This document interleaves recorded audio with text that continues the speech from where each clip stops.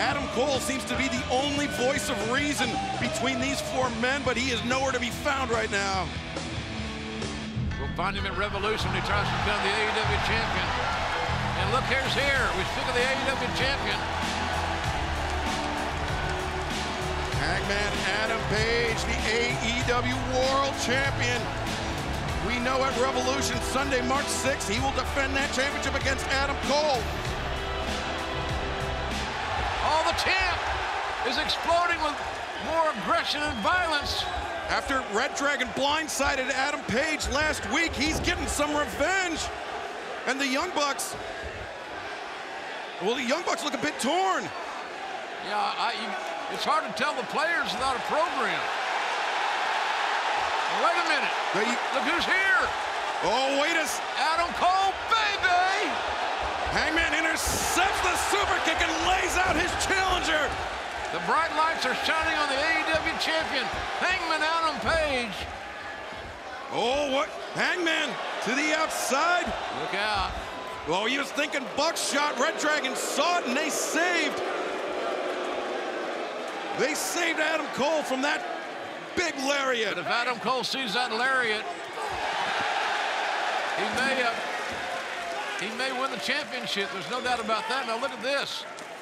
How impressive is has this kid been? John Silver returns Kyle O'Reilly to the ring. Hangman Adam Page. Buckshot lariat. Boy, the impact. It's like I'm getting run over by a truck.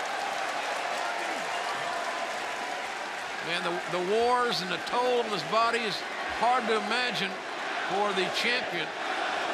I still recall that Texas death match against the awesome Lance Archer. And Hangman Adam Page has had a rough first few months as AEW World Champion. And Who's now, ready for story time with Adam Page, baby? Up his line. It's Adam Cole, not Adam Page.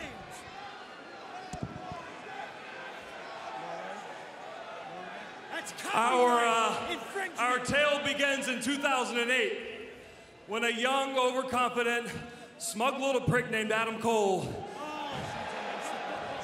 entered the world of professional wrestling and he became a world champion everywhere he went. yeah, soon to be, including this place. He's adding this place But, uh. As he could see the writing on the wall and feel his world crumble around him, he clambered back to his old friends and decided to come for the most precious prize in professional wrestling, the AEW World Championship.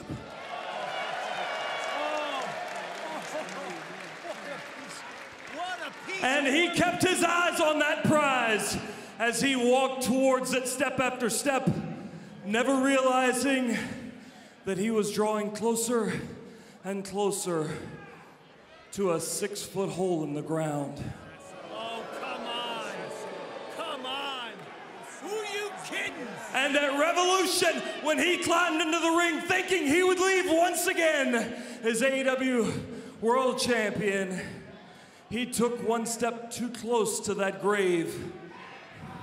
And the better Adam laid him down in it. What grave are we doing? You're a cowboy. And the world listened to the sound of his body hitting the dirt. It's from a freshly cocked buckshot, and that sound was boom. Wow, the bad blood flows like a river here. Cannot wait for Revolution Hangman versus Adam Cole.